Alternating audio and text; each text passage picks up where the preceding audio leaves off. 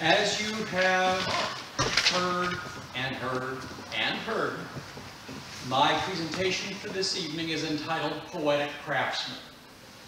In the course of this presentation, I invite you to explore three times the fruits of Freemasonry through the eyes of several men who were renowned for their skill with words, for their practice of the craft of poetry.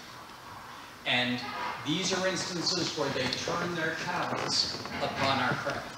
Now, Masons do words pretty darn well. We have volumes of words passed down for hundreds of years. Skilled men. Sometimes we have a little bit of a hard time in this modern era reading that language because we don't talk that way anymore. But nevertheless, a lot of wisdom has been reduced to writing in many different ways. But tonight we're going to focus specifically on poets who were also Masons and who turned their life upon our beloved craft. Now I'm going to do this a little differently from the way I would present a formal paper. We've got three guys, we've got three broad topics, and I'm going to let you choose the order in which we do it. We can explore brotherly love with the aid of the hottest Scottish songwriter of the 80s, the 1780s. we can explore relief with the aid of a poet of the American West, acclaimed as the pioneer poet, that was his nickname from his peers, who also later became the Grand Master of Masons in Colorado. Our third selection is to explore truth with the aid of the winner of the 1907 Nobel Prize for Literature. And to this day, he is still the youngest person ever so honored. So what shall we have, brethren, companions? Brotherly love, relief, or truth to start with? Brotherly love. I hear brotherly love. Is there a second? Here. Let's go for it. Brotherly love first.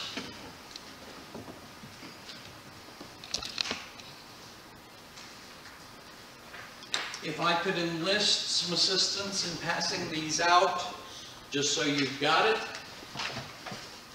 Although I was, that won't stop me from starting to talk. The poem is Farewell to the Brethren of St. James's Lodge, Tarbolton. And it's by Robert Burns, which is a name that may be familiar to you in literary studies. He's, actually, I described him as a a hot Scottish songwriter. You know, one of his hits still charts every New Year's. Robert Burns is the man who wrote the words for Auld Lang Syne. And to have your song being sung worldwide a couple hundred years later, that's not a bad, not a bad legacy to leave. But in this particular instance, uh, Brother Burns was in dire straits. He had always been a fairly poor man. And a subsistence farmer and a little bit of a writer, but it was hard. It was just now, at this point, ironically, that he started to break through. But the poem here is his farewell to the men that were his lodge brothers because he was going to have to go away to earn a living and try and break the cycle of poverty that he'd been living in. Farewell. Adieu. A heart warm fond you, ye, dear brothers of the mystic time. Ye favored, ye enlightened few companions of my social joy. Though I to foreign lands must hie, pursuing fortune's slidry bar, with melting heart and brimful eye, I'll mind you still, though far away. Oft have I met your social band and spent the cheerful festive night. Oft, honored with supreme command, presided o'er the light. And by that hieroglyphic bright which none but craftsmen ever saw, strong memory on my heart shall write those happy scenes. May freedom, harmony, and love unite you in the grand design. Beneath the omniscient eye above, the glorious architect divine. That you may keep the unerring line still rising by the plummet's law, till order bright completely shine, shall be my prayer when. And you, farewell, whose merits claim justly that highest badge to wear. Heaven bless your honored noble name to masonry in Scotia dear. A last request permit me here. When yearly ye assemble all one round, I ask it with a tear to him, the bar that's away. This is a man who above all else loved his brethren. He served his brethren. We see a reference in here to his time as master, honored the supreme command itself.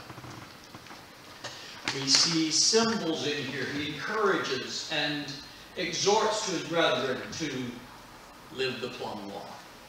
A plummet is the name for the actual thing on the bottom, what we sometimes know as a plumb bob these days.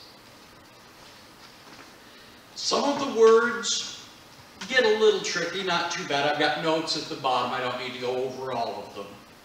Uh, but Burns wrote a lot in dialect. He, as a matter of fact, some of the stuff that he did in the Scottish lowlands has been recognized by later scholars as almost a distinct Scottish language, separate from, cognate to, akin to English. But he would slide back and forth from almost perfect King's English to dialect that was so thick that it was really hard to understand. And the world has been blessed because he didn't really need to make his farewell. He made the farewell, but about that time, his first book started to sell.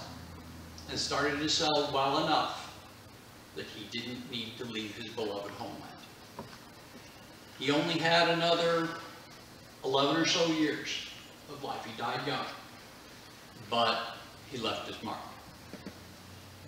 If any of you have anything you want to say or observations you want to make after this poem or after either of the other two, please feel free to do so. I don't have to go uninterrupted through this whole thing. And if you've got questions, that's fine. I want it to be a little more informal and not just a me stand up and recite. So why did you pick Burns? What attracted you to him? Well, I looked at Burns because of my exposure to one of the other poems that I'll be presenting tonight. The one that I was exposed to first got me looking at the subject of Masonic poetry in general. And I, I stumbled across a 1924 edition of the MSA's Book of Masonic Poems. And that broadened my scope and the three that I'm presenting tonight are three of my favorites, and they're organized in a way to echo brotherly love, relief, and truth, and so forth. But I, I came to Burns in the Masonic context because of my exposure to another poem. Without further ado, then let's go ahead. Relief or truth? Let's do relief. Okay, we'll just do them straight down the list in order. I was looking for a little more originality, but it doesn't really matter.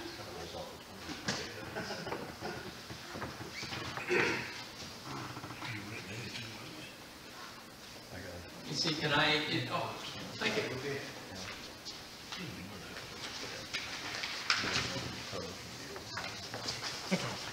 Now, this poem of the three was written by the man who has the most Masonic history of the three poets. Lawrence N. Greenleaf was made a Mason in Boston in the 1860s, but within the year, he affiliated with a lodge in Denver, Colorado. And he would write more than 50 years of Masonic history in that era. Brother Greenleaf became Grand Master of Masons of Colorado in 1880. He was a Grand Master, excuse me, he was a Grand High Priest of the Royal Arch Chapter in Colorado about five years later. He was a 33rd degree of the Scottish Rite. Honorary first, the year he served as Grand Master, and then several years later, he became Deputy Inspector General for Colorado and served as an active 33rd for the better part of three decades. A man who had a very, very rich Masonic history. And this poem is on the Colorado Grand Lodge website. It's been published in their newsletters and in their proceedings and so forth for years. There is a lodge in Colorado that has actually erected a lodge room in the fashion that we will be describing in the poem as a memorial and as a Masonic museum. Presenting the Lodge Room over Simpkins Store, poem from 1898 by Lawrence N. Greenleaf, past Grand Master. The plainest lodge room in the land was over Simpkins Store. As a matter of fact, it might well have been this one before the upgrade. Where Friendship Lodge and Maggie's Monk for 50 years or more. When o'er the earth the moon full orb had cast its brightest beams, the brethren came from miles around on horseback and in teams. And oh, what hearty grasp of hand, what welcome met them there as mingling with the waiting groups they slowly mount the stair, exchanging fragmentary news or prophecies of crop until they reach the Tyler's room and current topics drop to turn their thoughts to nobler themes they cherish and adore, and which were heard on meeting night up over Simpkins Store. To city eyes, a cheerless room, long usage had defaced the telltale lines of lathe and beam on wall and ceiling traced. The light from oil-fed lamps was dim yellow its hue. The carpet once could pattern boast, though now 'twas lost to view. The altar and the pedestals that marked the station's three, the post-gate pillars topped with balls, the rude carved letter G, were village joiners' clumsy work, with many things beside where beauty's lines were all effaced, an ornament denied. There could be left no lingering doubt, if doubt there was before. The plainest lodge room in the land was Store. While musing thus on outward form, the meeting time grew near, and we had glimpse of inner life through watchful eye and ear. When lodge convened at gavel sound with officers in place, we looked for strange, conglomerate work, but could no errors trace.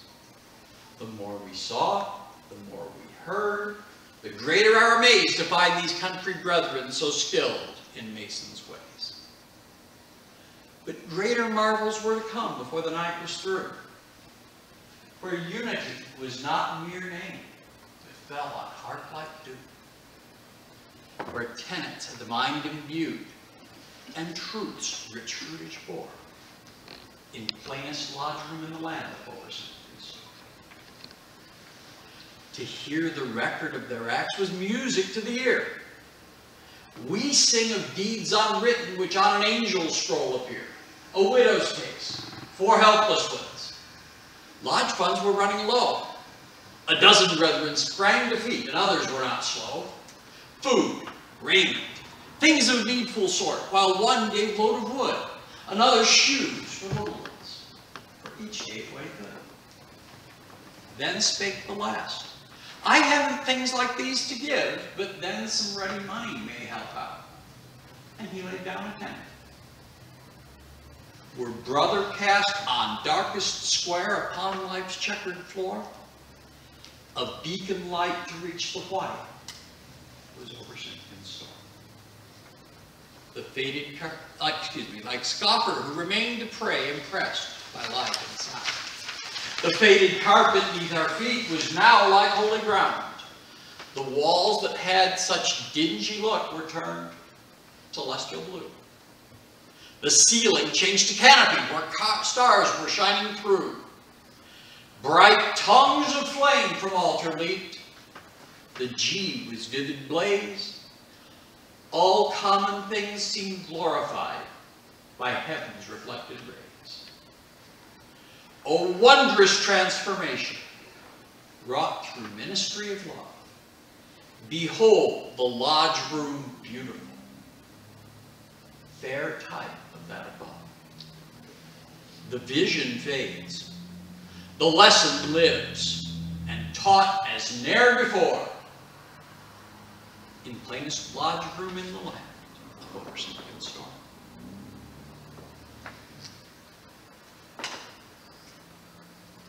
This one, it's hard to read without choking up.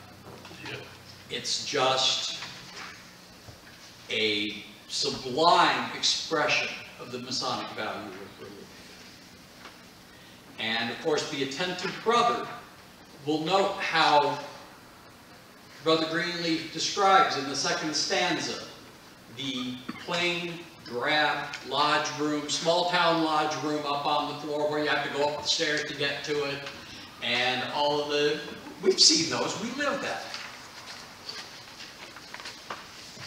The lodge room is more than that, and next time you get a chance, look at or call to memory, depending on how proficient your ritual is, the ritual, the lectures in the Entered Apprentice and Fellowcraft degrees, and note how he makes the transition between elements of physical lodge room and the elements of the spiritual lodge room.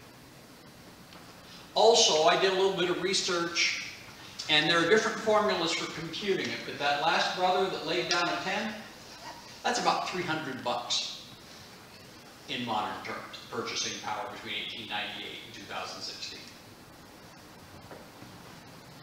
So we're talking about men by implication, if you're reading that at the time, men who truly gave of their substance.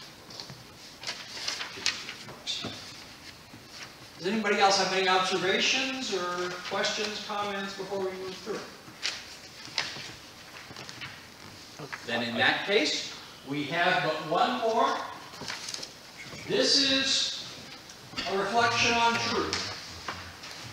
This poem is the one that caused me to want to study Masonic poetry, specifically. It happens to be a poem by one of my two or three favorite poets.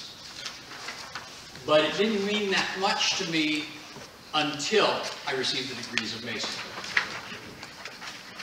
And oddly enough, I was junior deacon in my lodge when I first encountered this, which will become, it'll become apparent why that's significant as we go through. The poet is Rudyard Kipling. He of Jungle Book fame, his most famous poem is If. Um, he had an active career as a writer for 50 years. He was the, often described as the poet of the British Empire because he captured that era perhaps more and more strongly than any other person. And Kipling was made a Mason in a lodge in Lahore, India, which at that time was part of the British Empire, and which is now in Pakistan and in a place where Masons can't work because of religious strife. But Kipling is said to have, well, oh, actually he did say at one point that he was initiated by a Hindu, passed by a Mohammedan, and raised by an Englishman. That was the kind of mix of student cultures that was present when he became a Mason. And I'll tell you up front, the poem's narrator is a character, Tommy Atkins, who is a British soldier of the lower classes, and he shows up in a couple of volumes of poetry that were devoted to military poems. And Tommy Atkins is sort of the focal point. because Kipling wrote eloquently of the common people. And Tommy's telling the story here, but he's, he's a Mason, and he's proud of it, and he's glad to be. And no, I'm not going to attempt a British accent.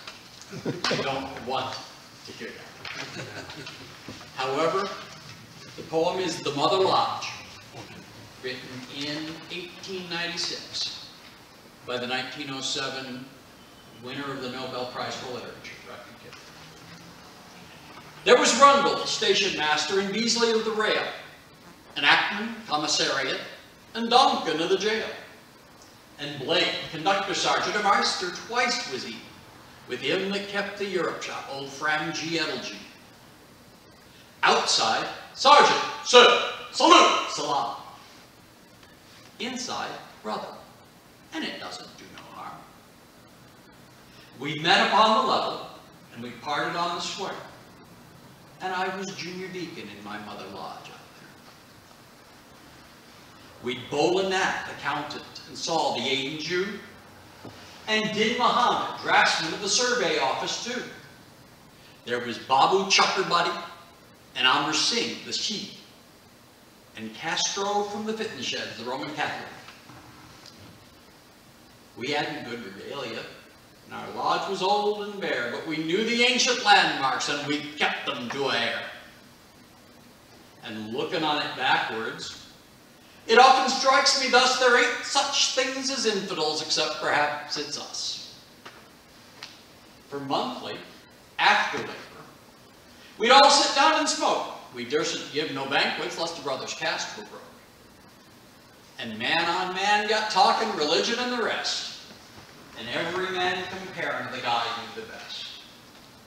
So man on man got talking, and not a brother stirred till morning waked the parrots and that damn brain fever bird. We'd say 'twas highly curious, and we'd all ride home to bed with Muhammad, God, and Shiva changing pickets in our head.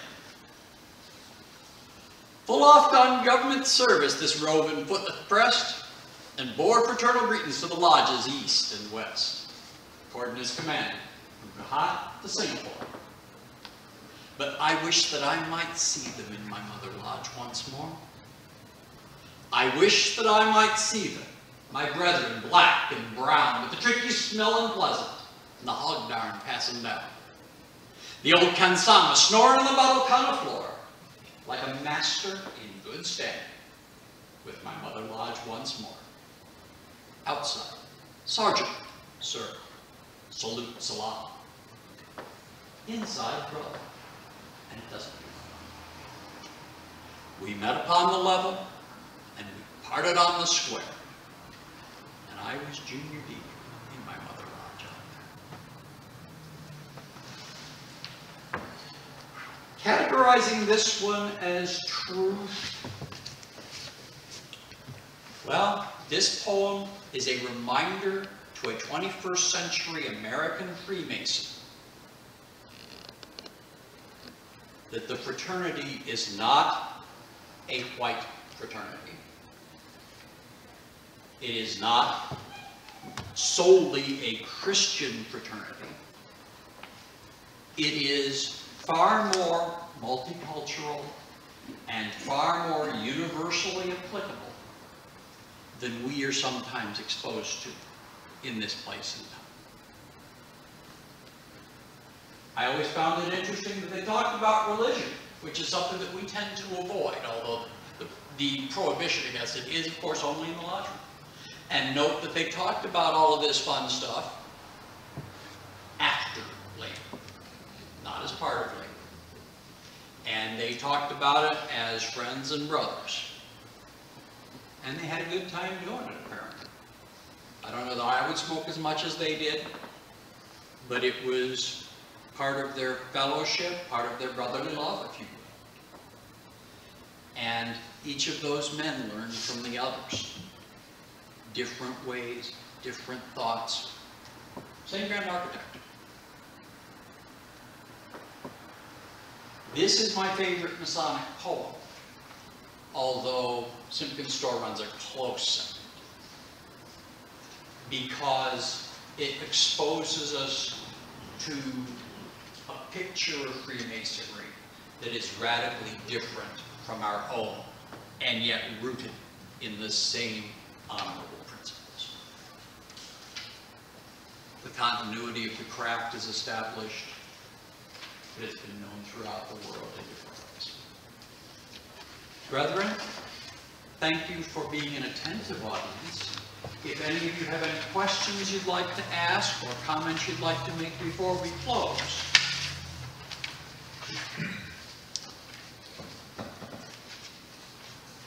looking at me, but nobody's coming.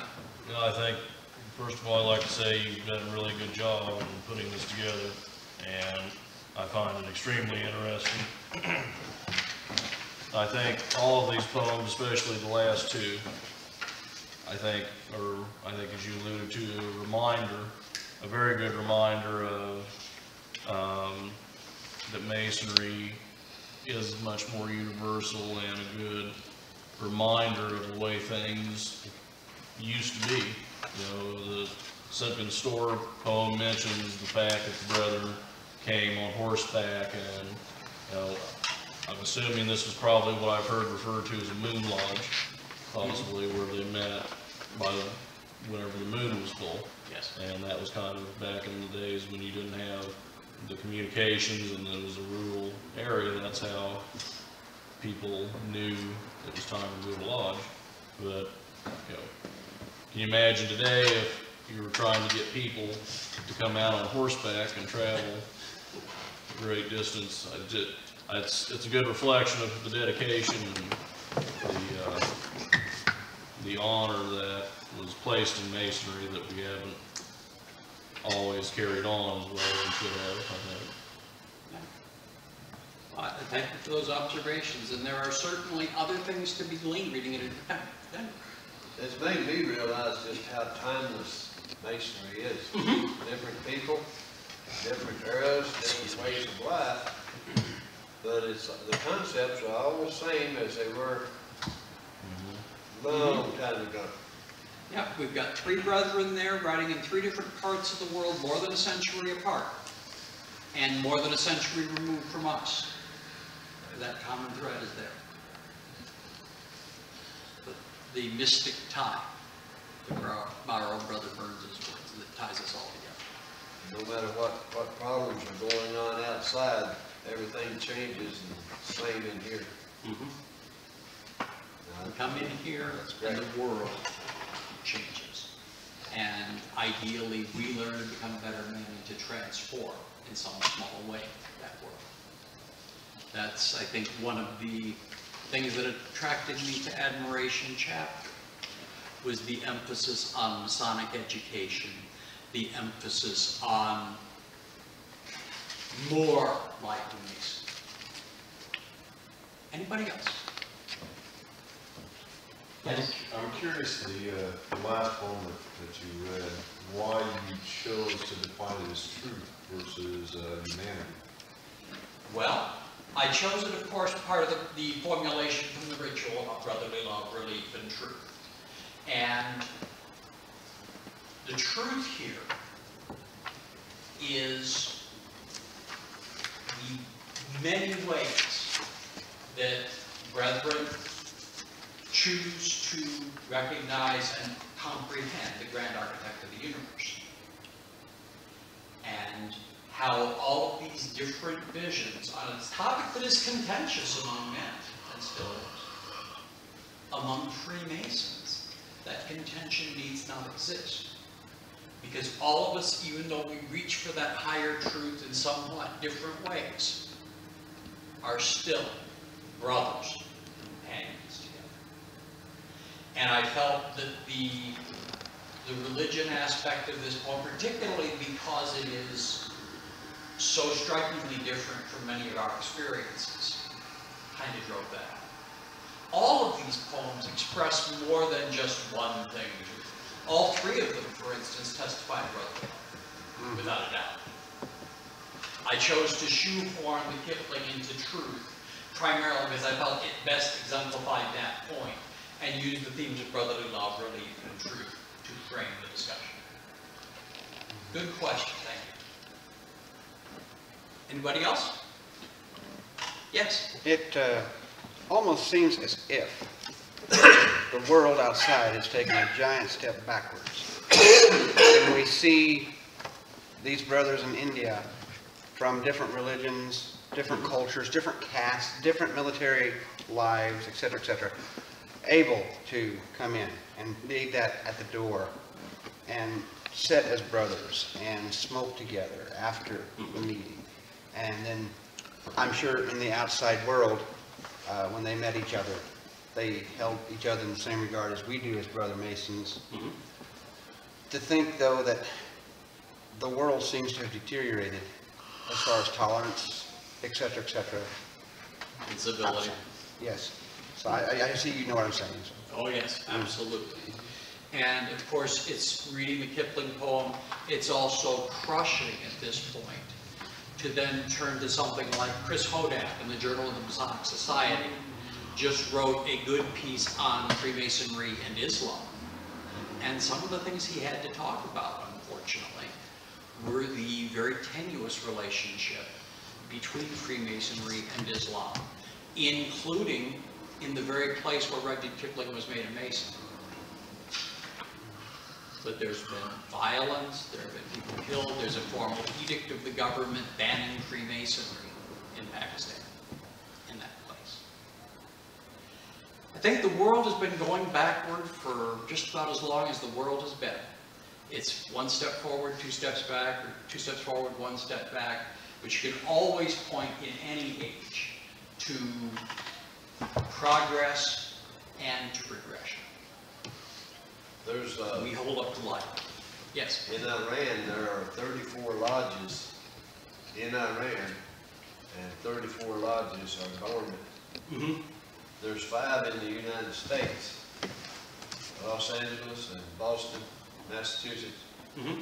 and they're, they're going okay, but there's none in Iran. Right. But, you know, Freemasonry, you take it to heart, the teachings, makes you look at yourself and other people in a different light. And I think that's probably the key reason for Freemasonry. And the reason why it endures, Yes. despite its detractors, despite, there's a reason why the Tyler symbol is what it is. Because there was a time when that had to be used, or the potential for its use in the, in a non-symbolic, very real fashion. I'm thankful that it's symbolic now in most places, but ultimately, there's a reason why that symbol exists. Anyone else?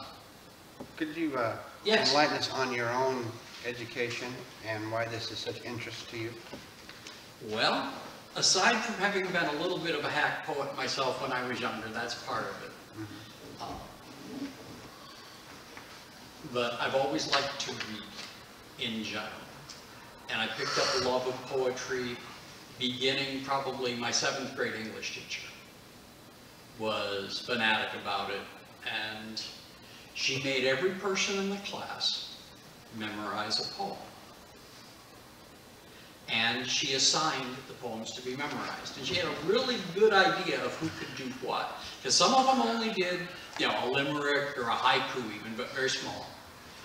She tasked me with the creation, a Negro sermon, James Weldon Johnson's greatest poem. He was a poet of the Harlem Renaissance in 20s and 30s America.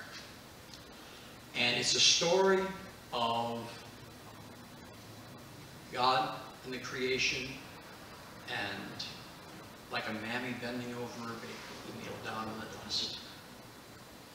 And those kinds of images told from the view of a black man of that time. Very profound, very spiritual, about 80 some odd lines. It was a bear. But a teacher that would expose us to that kind of material in seventh grade one thing I had when I came out of her class was a love of poetry that has never subsided. Uh, My education, I'm university educated, but I never got a bachelor's degree. I never finished. That's a long story. But, Well, As a professor, you could be a professor. well, I've been told a couple of times over the years that I should have gone into either teaching or law. But, well, my, my life took different paths. And I'm perfectly happy helping out the Boy Scouts. That's what I do for a living. I run the store for the Boy Scouts and, and fairly active as a volunteer as well. Well, President, we've gone for a long time on this. Thank you very much. I think we need to let everybody get a chance to go home.